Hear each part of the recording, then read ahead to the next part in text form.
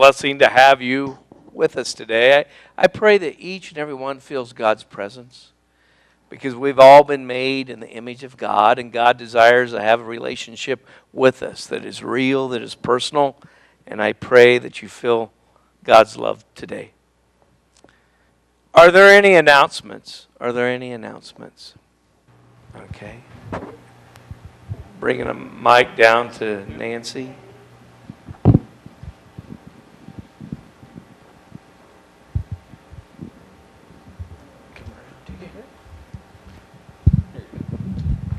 Uh, David would usually be making this announcement, but he's not here this morning. He was, uh, we had our second vaccine shot on Friday, and he's having a reaction, running a fever last night. And They said 48 hours, so by 2 o'clock this afternoon, he should be just fine. Uh, I I wanted to mention that I am going to have a procedure Thursday. It's a surgical pr- uh, procedure on on a heart monitor uh, that they, it's a recorder that they put in your chest. And as David mentioned a while back, I've been having trouble with that, and I still am. So I guess this tells us what's going on. They told me it's no big deal. And of course, I've been told that before. So I'm supposed to be awake, which I just assume be, so you might pray for that area as well. So that's Thursday morning, the procedure's at nine. Thank you. Okay, so keep David in your thoughts and prayers, even though Nancy said at 2 o'clock he'll be just fine. And then also for Nancy on Thursday. And, uh, okay. Also keep Betty in your thoughts and prayers too. Um, She isn't feeling well, but uh, Pat was so willing. And uh, anyway, Okay. are there any others? Okay.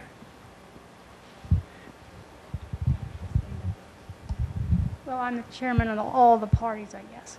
But anyway, today I'd like to welcome Mark and Rebecca Holmeyer, Holmeyer, Hoffman, Hoff, Hoffhines, excuse me. And uh, their, I think, um, mother is over there, right? Yes. Mom? There she is. Okay, Diane's there. Anyway, we have um, a little treat, and I understood that it was a come and go thing. Somebody told me that. So anyway, we'd like to have you come by and see, speak to Rebecca and Mark and enjoy. So the baby shower is at, at noon following church, and uh, and good thing I have a lot of good people to follow me around. I put my gift downstairs, and they already brought it up. So uh, I have the Holy Spirit, and then a lot of other people help me stay in line. All right. Does anyone else have any announcements? How about the brown bag? Can we explain that? Uh, yeah, so the brown bag, bre- brown bag breakfast, um, because of COVID, we can't quite have our normal Holy Week breakfast where we come and gather and listen to the speaker during Holy Week. So the Methodist Church is doing one morning where we prepare like a, a just a brown bag breakfast. We're going to have you pick it up after church on Sunday, um, the Palm Sunday, the 28th of March and um, you can enjoy your breakfast Monday morning when you zoom in from wherever you are to watch the speaker on Monday morning. You are, well, I think they're doing a Zoom here at the church you can do. Come, is that correct? Maybe? No? Evenings only. Okay, all right. Let's- So, okay. After this is over, we'll never have this again so we can forget everything we did. But don't forget it now, okay? How's that? So yes, the sign-up sheet, there is one out here in the foyer. So if you haven't signed up yet, you can just write your name and the number of breakfast bags that you're going to need. And then um, come to church on Palm Sunday and you can pick it up. We'll have them over here in the overflow for you to pick up and enjoy. And if you want one for the following day, which would be you could pick it up on Monday night at, at the Presbyterian Church for Tuesday. And reason we're doing this is yes, we're not able to meet together like we had for over 50 years. Now, last year we didn't get to do any of this, okay? So this time, each church is going to have a brown bag breakfast, and you pick it up the day before, okay?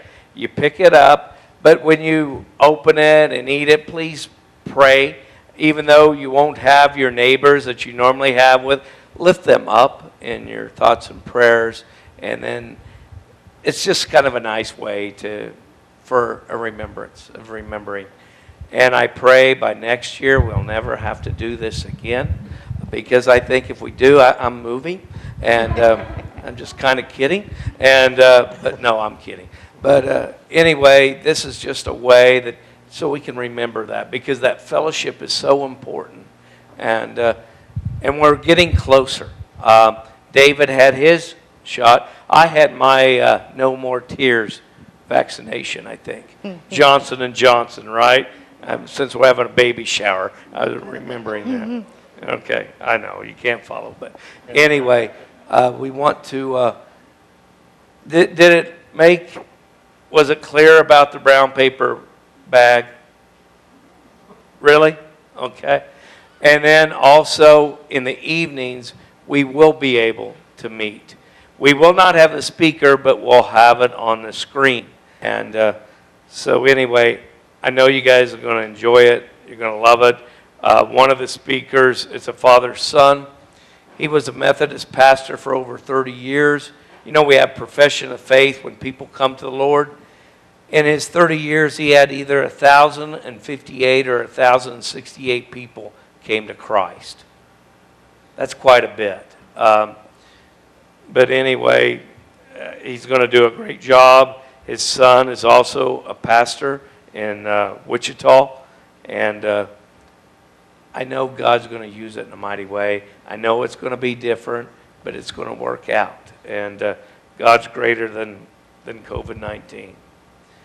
So at this time, are there any others? Or does anyone have any prayer concerns? I, I know Faith uh, Miller had her gallbladder removed Friday, and she is home and doing well, and we praise God for that. Uh, are there any others that anyone else like to lift up? Okay. Well, if not, before we have the call to worship, I'm going to center ourselves before God. I'm going to ask you to bow your heads, open your hearts and minds and your hands, and let us go to God. Good morning, Lord. We thank you and praise you for this day that you have made, for the opportunity to worship you and praise you because you are so worthy. Dear Lord, I know it's true. But I also know I can't speak for anyone else, but I know for myself there's many times my focus isn't always on you. Many times I'm holding on to anxiety or brokenness or things that I have not done or things I need to do. But, dear Lord, we weren't meant to carry it. 700 times in your word, you tell us, Come to you. So I pray today we would allow the Holy Spirit to work. Dear Lord, loosen the grips of things we're so tightly holding on to that we would truly surrender. Lay it at the foot of the cross. Give it to the one that can do all things. Give it to the one, dear Lord, that is not limited. Now we have empty, open hands to receive the blessings that you have for each one of us. Now we have empty, open hands to receive your love, your grace, your mercy, your forgiveness. Dear Lord, I just thank you and praise you. And you have chosen to use us to make a difference wherever we go. That others can receive that love, that grace, that mercy, that, that forgiveness that we have received from you, they can receive from us. Dear Lord, I thank you again. I also pray if anyone needs a special touch today, they'd feel your presence. Know they are loved, know they are forgiven, and know that you'll never leave nor forsake. Dear Lord, whoever can hear my voice, I pray they feel your presence. Dear Lord, we thank you and praise you. In Jesus' precious name, amen and amen. Now, at this time, we'll have the call to worship. Um, it's found on page, well, it's number 889 in your hymnal. It's not the page number, but, or up on the screen. Um, please join me. Um, there is one God, there is one mediator, Christ Jesus, who came as a ransom for all, to whom we testify. This saying is sure and worthy of full acceptance that Jesus Christ came into the world to save sinners and was manifested in the flesh, vindicated in the spirit, seen by angels, proclaimed among the nations, believed in throughout the world, taken up to glory. Great indeed is the mystery of the gospel. Amen.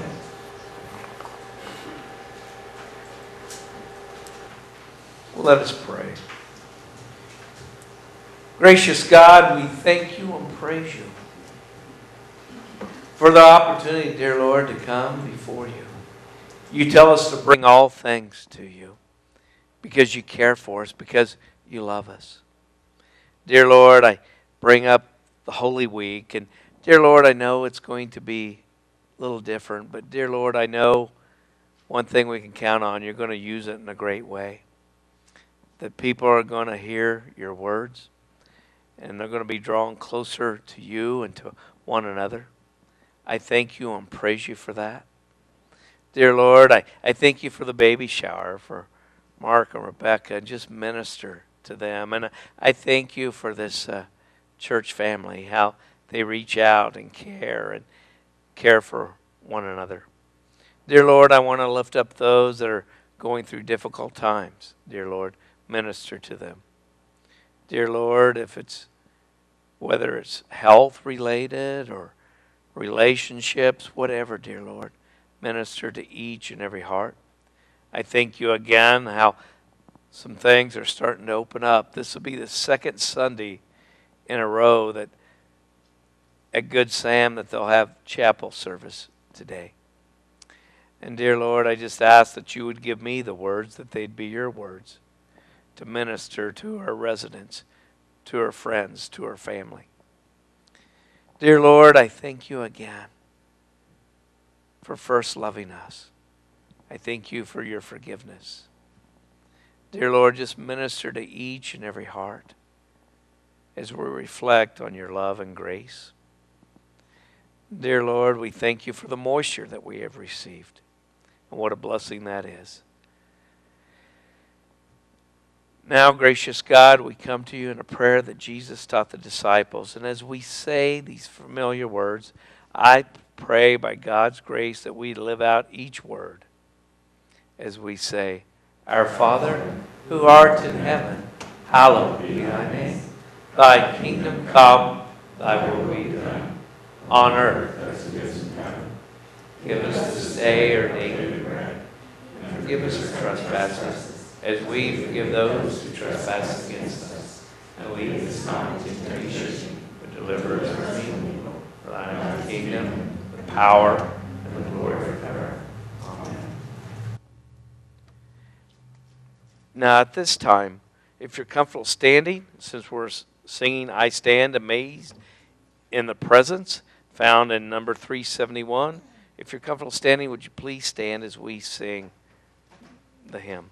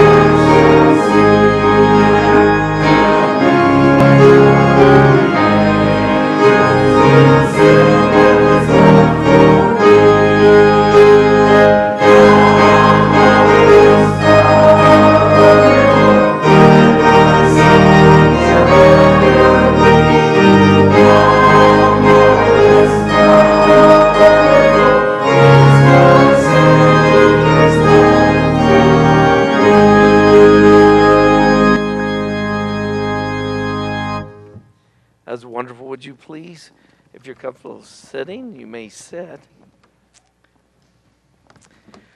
Now's the time for moments for missions, and Deb wasn't able to be here today, and uh, they're moving all her stuff out. She's getting a new carpet, and I know that's got to be a really big deal.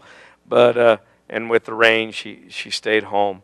But she wanted to let me know uh, about the moments for mission is for our youth group, and there's baskets and different places where they put the money, and you'll be able to put that in there uh, after the service. But the missions team, they pray each and every year of the 12 different missions that they can help in the community. And they've prayed over this, and, and we are so blessed. We'll have up to 20 kids in our youth group, and that's such a blessing, and uh, just want to lift that up. And now at this time, the young disciples, and uh, is going to share with us.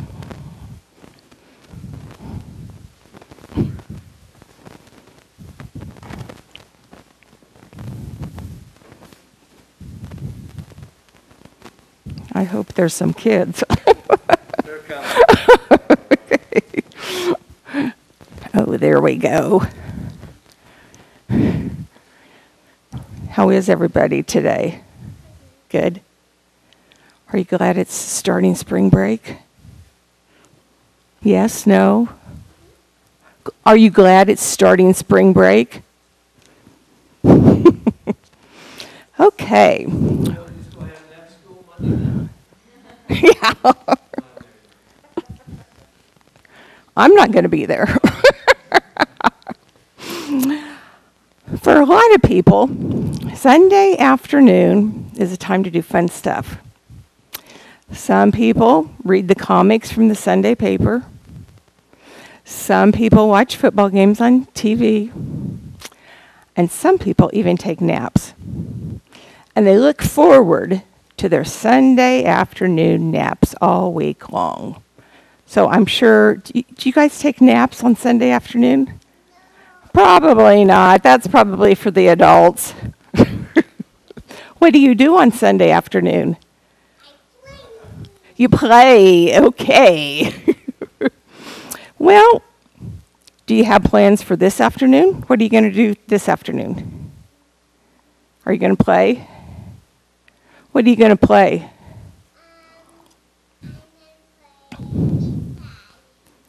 Freeze tag with your sister? I don't know if she's going to play freeze tag the way she's looking.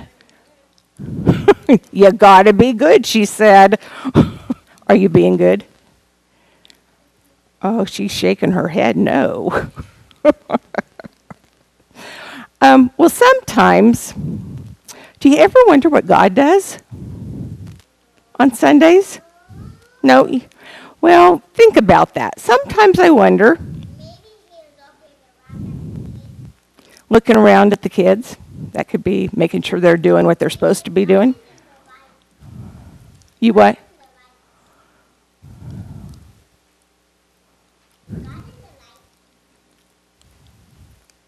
He's the light, isn't he? That's true. Well, have you ever wondered, like I said, what God does?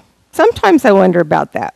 We all know that God can do anything, but sometimes I wonder what God plans to do on any particular day.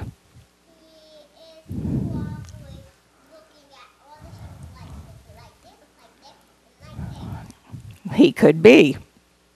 There's something else that I wonder about too. What do you suppose God does for fun?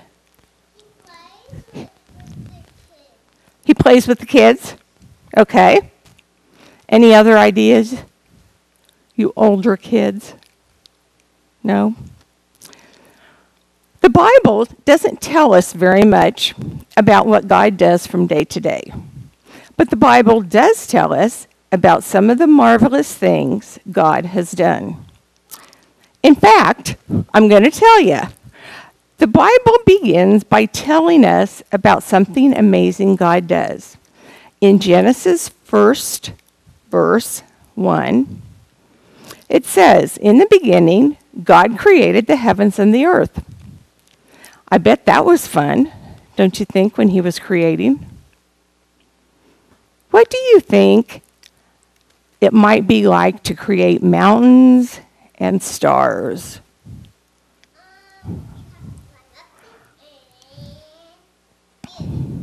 Have to climb up? And what?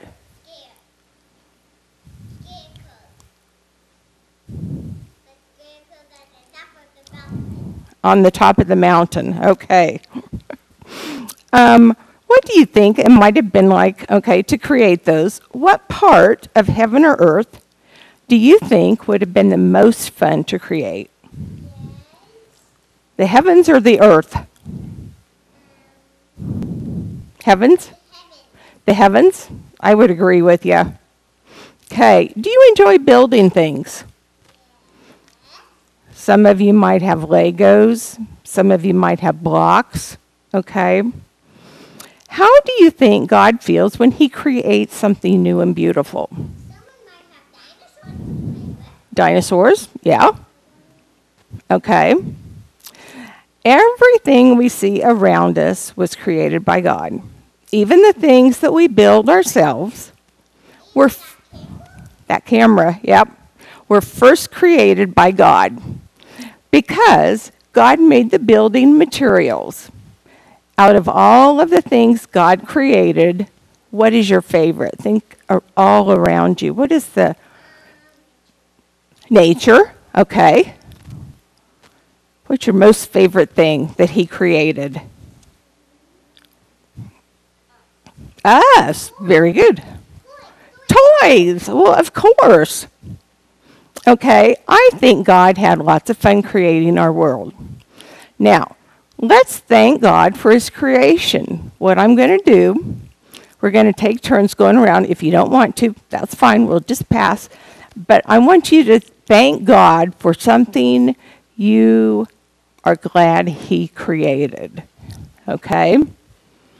So, I'll start first, and then we'll start with Evelyn. And like I said, if you don't want to, we'll just pass and go on. So, thank you, God, for creating parents.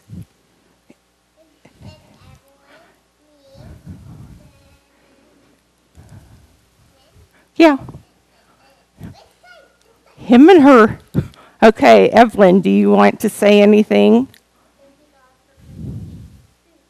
Okay. What's that? Both of your dogs? Okay. Okay. And one's brown. And one's black. Oh, you're getting kind of wound up, aren't you? Okay. Anything you. Your family. Those are all good things. Okay. So let's bow our heads. Heavenly Father, thank you for all the wonderful things you have created for each and every one of us. Some things are important to us, where other things might be important to someone else. But in all, we thank you for all that you have created. In Jesus' name we pray. Amen. And I think they have for you.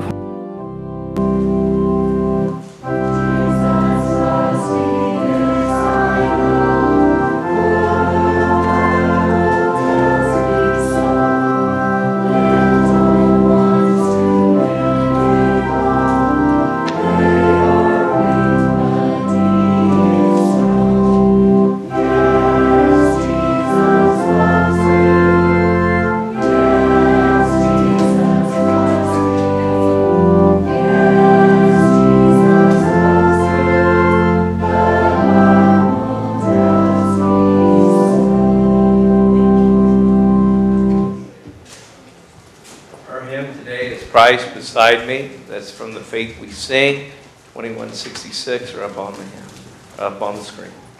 I want to make a quick little announcement. This Wednesday is St. Patrick's Day, okay? And a lot of times we get caught up in just the wearing of the green and all the St. Patrick's parties. This hymn, Christ Beside Me, is attributed to, to Patrick, St. Patrick. And that, he lived during the 700s. So this has been a long time. A wonderful man of God. If you ever have a chance, read up about St. Patrick. He did a whole lot more than what he ever is given tribute to in our modern society. So as we sing this song, look at the words. They're just wonderful. Christ is with us every day of our lives.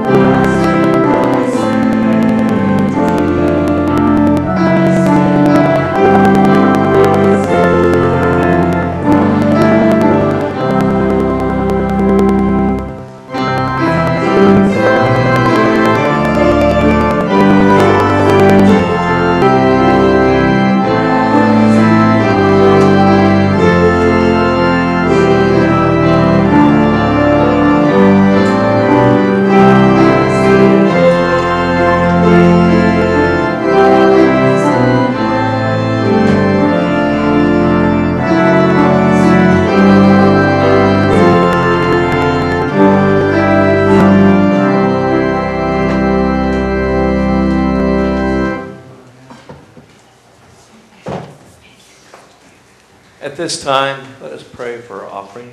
Would you please bow your heads with me? Gracious God, we thank you for this day. We thank you that all good things come from heaven above. We ask that you bless this offering we're about to receive. Dear Lord, we pray that it would further your kingdom here in Ellsworth and throughout the world, that people would hear the good news of Jesus Christ, our Lord and Savior. They'd hear the good news of his life, death, and resurrection. That we have a Lord that defeated not only sin, but death. The hope that we have. I thank you and praise you. But not only bless this offering, but bless each and every one here today whether either in the sanctuary or at home listening. Dear Lord, bless them. Dear Lord, bless those that are able to give financially, of time, of service, and prayer, and their presence. We thank you and praise you for all that we have in you. In Jesus' precious name, amen and amen.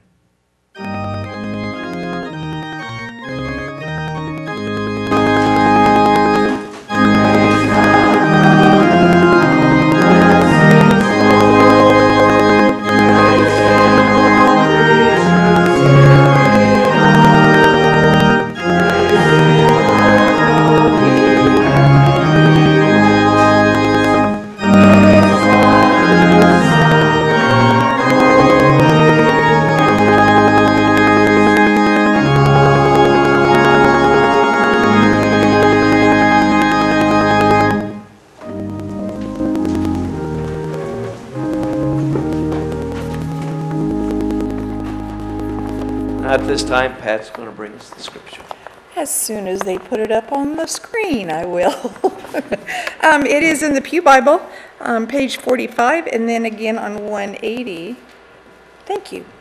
Um, Mark 3, 19 to 30. Then he went home, and the crowd came together again so that they could not even eat. When his family heard it, they went out to restrain him, for the people were saying, He has gone out of his mind. And the scribes who came down from Jerusalem said, He has Beelzebub, and by the ruler of the demons he casts out demons. And he called them to him and spoke to them in parables. How can Satan cast out Satan? If a kingdom is divided against itself, that kingdom cannot stand. And if a house is divided against itself, that house will not be able to stand. And if Satan has risen up against himself and is divided, he cannot stand, but his end has come. But no one can enter a strong man's house and plunder his property without first tying up the strong man. Then indeed the house can be plundered. Truly I say, tell you, people will be forgiven for their sins and whatever blasphemies they utter. But whoever blasphemes against the Holy Spirit can never have forgiveness, but is guilty of an eternal sin. For they had said he has an unclean spirit. And then in Acts chapter 24, 26, verse 24 to 29, while he was making his defense, Festus exclaimed, You are out of your mind, Paul. Too much learning is driving you insane. But Paul said, I am not out of my mind, most excellent Festus, but I am speaking the sober truth. Indeed, the king knows about these things, and to him I speak freely. For I am certain that none of these things has escaped his notice, for this was not done in a corner. King Agrippa, do you believe the prophets? I know that you believe. Agrippa said to Paul, Are you so quickly persuading me to become a Christian? Paul replied, Whether quickly or not, I pray to God that not only you, but also all who are listening to me today might become such as I am, except for these chains. This is the word of God for the people of God.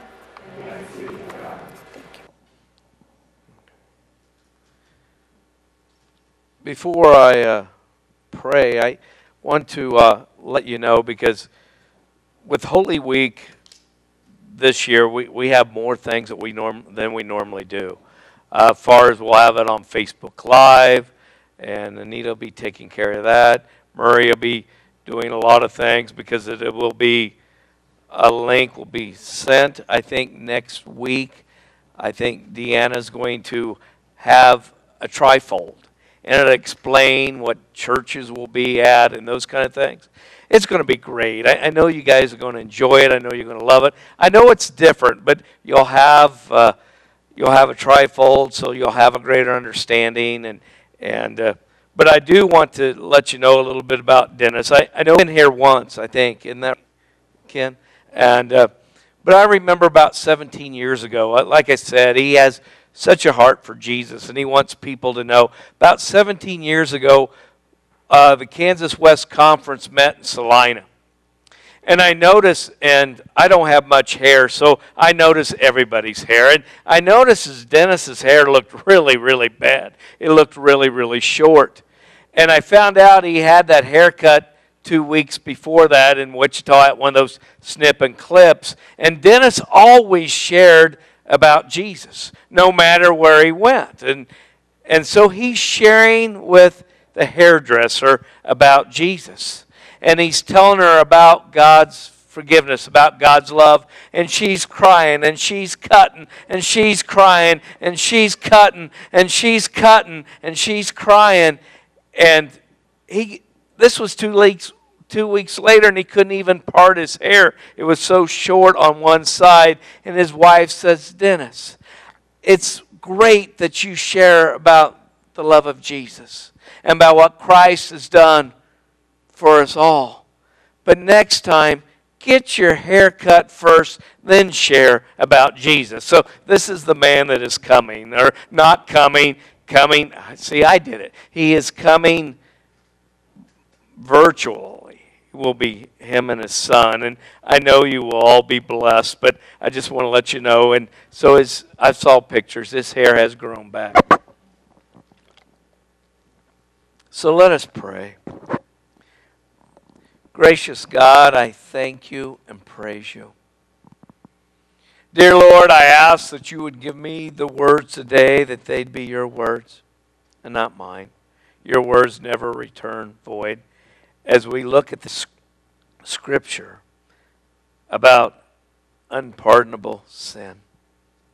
Dear Lord, I thank you again how Jesus shared this. And so I ask that you would give me the words and also, dear Lord, give me strength today. I'm about to lose my voice. I haven't heard anyone say amen yet. But dear Lord, it's it is weak. So I come to you and just direct us and guide us. In Jesus' precious name, amen. Evangelist Graham recalls a story about his father. When his father was a young man, he attended a revival meeting in North Carolina. And he became convinced through the sermon that he had committed the unpardonable sin. And he lived with the awful thought for many years. He agonized over it, he was frightened by it, and thought of himself as a doomed man who could never repent of his sin. The older Graham eventually found peace of mind in his understanding of the extent of God's mercy. But many people like him through history have been plagued by the fear of having committed the unpardonable sin. William Cowper, the author of the hymn, There's a Fountain Filled with Blood, almost went out of his mind fearing that he had committed the unforgivable sin before finding assurance of his salvation. John Bunyan, the author of Pilgrim's Progress, was tormented by that thought that he had committed the unpardonable sin. Later on, he realized he hadn't. And the great evangelist, Charles G. Finney, wrestled with a similar fear before finding peace in the Lord Jesus Christ. A generation or two ago, that many old time pastors and evangelists traveled around the country conducting revival meetings. They usually preached at least one sermon on the unpardonable sin. Usually, the preacher would ask the question, What is the unpardonable sin? Then he would work through a litany of sins that were common to the audience lying, stealing, selfishness, adultery, so forth. After each, he would say something to this effect Yes, lying is a terrible sin, but it is not the unpardonable sin. The Lord will forgive you of that if you come to Him in repentance.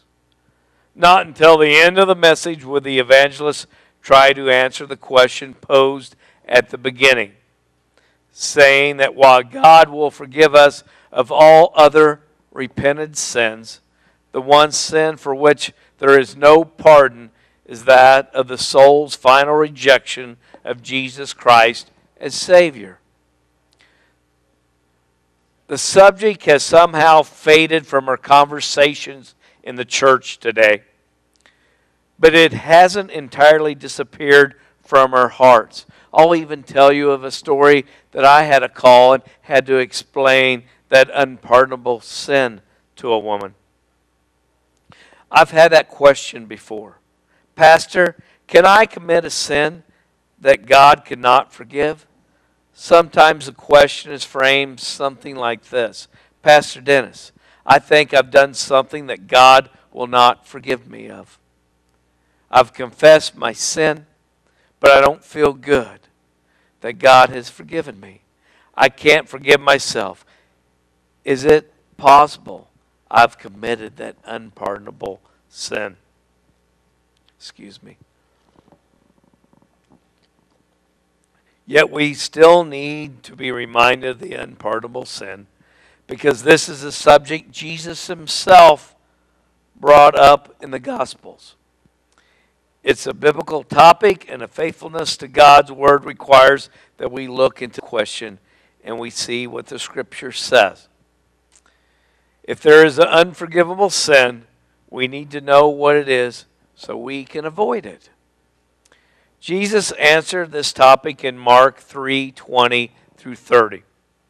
As a passage that ends with these words Assuredly I say to you, all sins will be forgiven the sons of men, and whatever blasphemes they may utter. But he who has blasphemed against the Holy Spirit never has forgiveness, but is subject to eternal condemnation. Mark 3 28 and 29 from the New King James Version. According to Jesus, there is one thing a person can do for which there is no forgiveness, either in this age or in the age to come. There is truly an unforgivable sin. He describes it Uh, as blasphemy, you mean, against the Holy Spirit. But we are left wondering what these words really mean. What is the sin of blaspheming against the Holy Spirit? What is the unforgivable transgression? The only way to understand these words is by studying them within the context of the overall passage. Whenever we study Scripture, it's vital to interpret the verses we read within the settings so we don't take things out of context. The passage here in Mark 3 concerns one a very important question who Jesus Christ is. Who Jesus Christ is. Everything depends on the correct identification of the stranger from Galilee. In Mark 3 20 through 30, there are three opinions. To his family, Jesus was demented. To his family, Jesus was demented at this time. In verses 20 and 21, it appears the Lord's own family concluded he was demented. The, pas- the passage says, the multitude came together again, so they could not so much as even eat bread. But when his own people heard about this, they went out to lay hold of him, for they said, He is out of his mind. The pressure or the, the intensity of Jesus' ministry escalated to such an extent that there was no time for him to even eat. Have you ever been so busy that you didn't even take time to eat? Have any of you ever done that? Yes, I someone cleared their throat. I'm sure that you have. I, I know I have. Not since I've been a pastor because I only work one day a week, but before that, I, I did that. And uh, like when I would work in the elevator and taking in grain I mean, you look at your watch, oh, it's 3 o'clock. I guess I won't have lunch. But people wanted his attention, they wanted healing, they wanted to be fed, they wanted demons called out of their family and their friends. And in this scripture, he healed a man that could not speak, that could not hear, that could not see and Jesus healed him. But his own family, they came here. They were going to where Jesus was at Capernaum, like it said in the scripture 319b that he was at home. They came from Nazareth, 30 miles away, all on in the Galilean area to take him home. You know, I imagine it made his mother ache, knowing that there was so much pressure on him that he couldn't even eat. She was doing it out of love. Even though he was doing the work of God, she was doing out of love. Let's go get your brother Jesus. Now, his own brothers, they didn't even believe that Jesus was who Jesus was. They thought he was crazy. Maybe they wanted to bring him back so they could get the business going again because he was no longer a carpenter. We know, though, in Acts, after the resurrection, then they believed that Jesus was the Son of God. But at that time, they did not believe. They thought he was crazy. I can even imagine they probably even saying, Boy, I was, our father Joseph was here. He would straighten out Jesus. But not only was Jesus looked at demented or crazy, but so can we. I mean, people have a hard time understanding how we can follow Jesus, how we really truly believe that the Bible is real, that we can trust and put our faith in God's Word. Actually, one word that is used is radical. The word radical. I remember doing a study on that in Disciple Bible Study. That was a 30 week Bible study where you read over 80% of the Bible. And they talked for one week about how Jesus was radical. Mike Barrett wrote After traveling from Portland to Delhi, looking for radical faith, here is the conclusion that I came to that might surprise you. Radical in its origins really means to be rooted. The idea behind the word is to be so grounded, so deeply rooted in a lifestyle direction that you stand against social and cultural currents that tear others away from your path. It's not such forcing a change, of course, but returning yourself and others to the original intent path. By definition, the classical radicalism is found in the lives of many historical figures, people who stood up for human rights and religious forms. Today, anyone who adheres to the person and teaching of Christ in the midst of a runaway humanism and hedonism is by definition a radical. So if you're radical, it's a good thing. Actually, when I was studying on that, it finally came boy, I'm getting so old. It's only been 30 some years since I remember looking and dissecting a seed. The first, the coleoptile, coleoptile goes up out of the ground, but the root, you know what that root is called? It's called a radical. I'm amazed how much I forget. It's, it's amazing. I know you are not, but I am amazed how much I forget. But to be called radical, to take us back to our roots, that our focus would be on Christ. So if someone's calling you crazy or someone's calling you radical, it's okay. It's a good thing. The second opinion, his foes, Jesus was demonic. He was demonic. Like I said, the first reaction, his family thought he was demented, thought he was crazy. But the second opinion, in Mark 3, we see is much darker opinion of Jesus. His foes claim that he was demonic. In verse 22, it says, and the, cry, and the scribes who came down from Jerusalem said, Now, this word said, we'll get back to that. He was he was Beelzebub, and by the ruler of demons he cast out demons.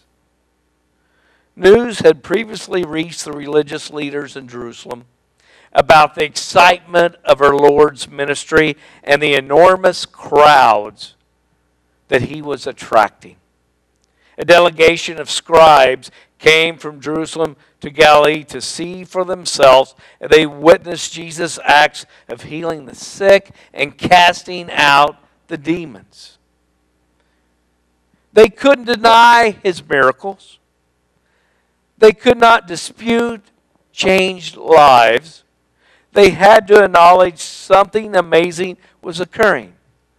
Since they didn't accept Jesus was being sent by God, they went to the other extreme and accused him of operating under the authority of the devil. They said he was demonic. They said he was demonic. But you know, when they said this, when we read this, the Lord's response to the scribes, there was no indication that he was upset or that he was defensive. In this passage, he gives a thoughtful and logical set of answers.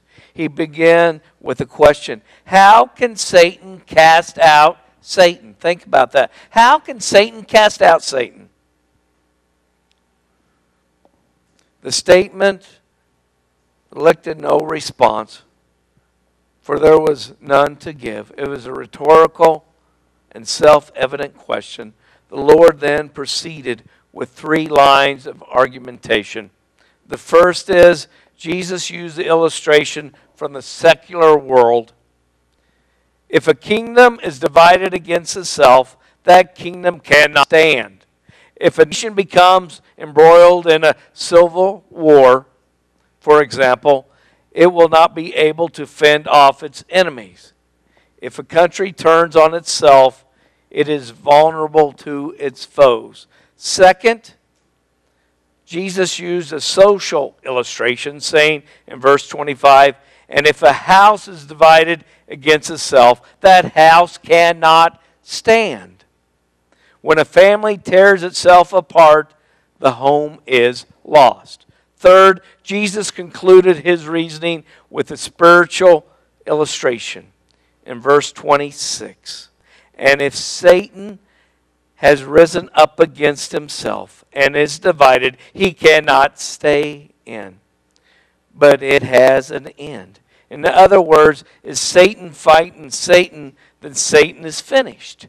Jesus implied that here that Satan's kingdom is unified, it is cohesive and powerful. It wasn't going to meet its doom from internal division for it is united in its hatred of God and its opposition to Christ. We can paraphrase the Lord's argument in this way It is not logical for you to accuse me of casting out demons by the power of Satan. Your argument makes no sense. The most common observation is the political or that secular realm or the social realm or the spiritual realm really disprove your claims. But Jesus wasn't finished when he said in verse 27 No one can enter a strong man's house and plunder his goods unless he first binds the strong man, and then he will plunder his house. In other words, if a thief wants to steal the goods of a strong man, he must first subdue that strong man Lord was thinking here of Satan. To Jesus, Satan was the strong man whose house or kingdom dominated the earth. Jesus was about to spoil the strong man's house by liberating those who were enslaved. That's the only possible way. The liberator, Jesus, is actually stronger than the strong man, Satan, which he certainly is. Jesus came to enter the strong man's house bind him, plunder his goods, and free his victims. He was not working in conclusion or cooperation with Satan. They are actually opposite sides. So we can draw enormous hope in that simple illustration. The world may appear to be in Satan's hands wherever we turn we see souls enslaved to sin, to self destruction addictions, into the godless philosophies. World leaders loom over the headlines with threatening boast and evil intent. We face wars and rumors of wars, and it's hard to read the headlines without wondering of history is at its death throes. But the name of Jesus is supreme. The person of Jesus is power enough to send the evilest demons fleeing. There is more power in a single syllable from the lips of our Lord than in all the vaunting, boasting of Satan and his host. The power that Christ exercises over Satan has implication for us. One of my favorite verses in new in the New Testament in 1 John 4 4. You are of God, little children, and have overcome them. Because he who is in you is greater than he who is in the world. When we are in a league with Jesus Christ, we have nothing to fear from Satan or his demons. We know who Jesus is, and that leads us to the next observation in Mark's three options. To his followers, Jesus was divine. I'm going to have to shorten this up.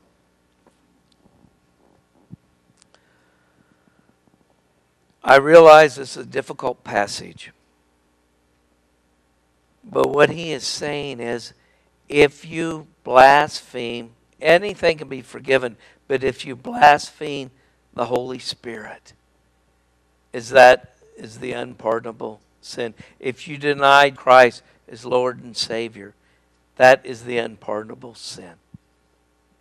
You see, the scribes did not believe that Jesus was the Son of God. Even though every day they got out their pen, their crude pen and ink, and would write on the scrolls. And actually, from the Old Testament, they would hear and write it down about from Isaiah that he was the servant.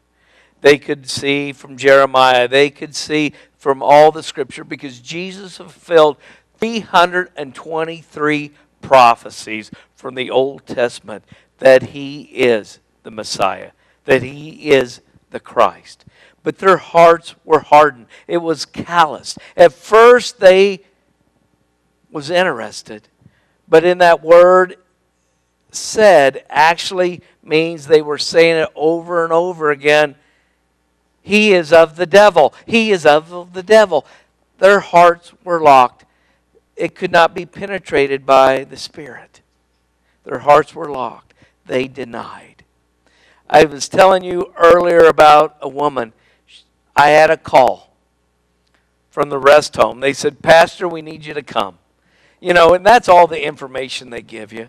Pastor, we need you. Someone needs you. And I said, okay, I'm coming. So I'm praying because I don't know what I'm about to enter. I don't know what is about to happen. I get there, and this woman is uncapped. I mean, her hair is wild, her eyes look wild. You could tell she was just so nervous and shaking. I said, What is going on? How can I help you? She says, I have committed the unpardonable sin. I said, You said God can't forgive you? well, what is going on? God can because it's already in your heart and you're wrestling. So God is at work and you can be forgiven. And so we had a prayer, and the next week I saw her, and she wasn't so un- uncapped. She had such a peace, much like those others that I was talking about, like Billy Graham's own father. If we accept Jesus, as Lord and Savior, if we repent, we are forgiven. We are forgiven. We're about to receive communion here in a moment. One of the things that many times we read, we, we ask for forgiveness for what we have done or what we have left undone. When you receive this bread today and, and also the cup, I want you to know that you are forgiven and this communion is for all. It's an open table. It is God's table. It's not Dennis's table. It isn't Ellsworth United Methodist table, but it is the table, God's table. As God's grace is for all. Let us pray. Gracious God, I just come before you today. We thank you that we can be forgiven. All we have to do is repent and ask for forgiveness, and it is there.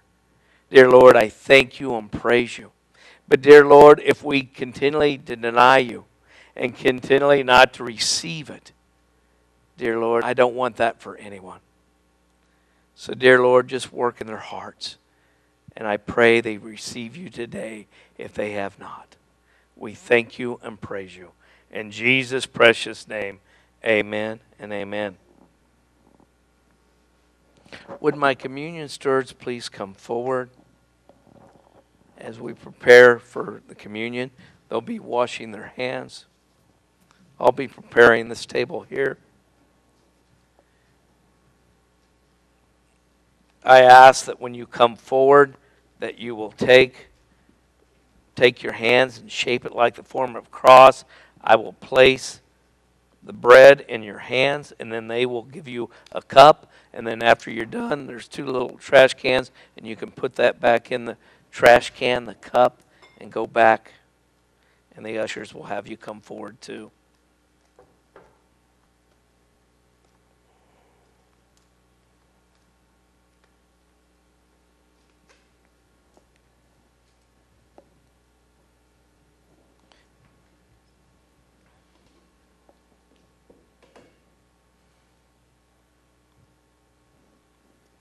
On that night, Jesus took the bread, blessed it, and broke it, and said, This is my body. Take, eat, and do this in remembrance of me. After the meal, he took the cup and blessed it. He said, This is a new covenant, my blood shed for the forgiveness of your sins. Take, drink, and do this in remembrance of me. Let us pray. Gracious God, we thank you for this time and just move in each one of our hearts. We ask that you bless these elements, draw us closer to you, closer to your forgiveness, closer to your love, closer to your grace. We pray this in Jesus' precious name. Amen and amen. And myself and the stewards, we will receive communion after you have all received communion.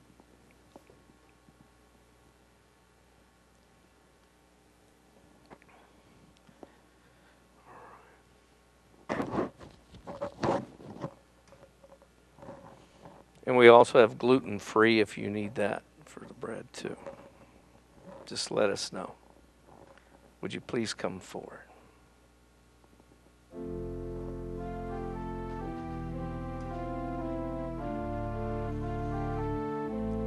body and the blood of Christ given for you. The body and the blood of Christ given for you. Rebecca. Mark, the body and blood of Christ given for you body and blood of Christ given for you, Nancy.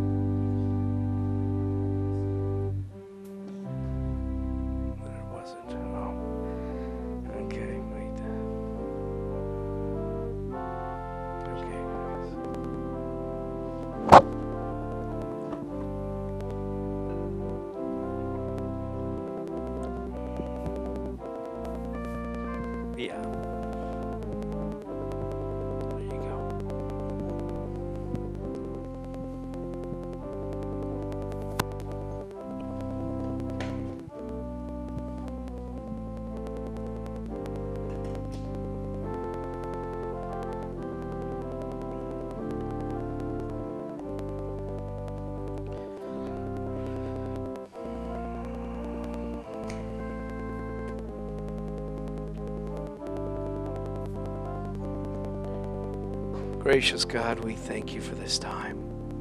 Continually to minister to each and every heart as we receive. What a blessing to know what you have done, what you're doing, and what you will do. These things we pray in Jesus' precious name. Amen. Now, at this time, if you're comfortable standing, would you please stand as we sing our last hymn, Grace Greater Than Our Sin, number 365.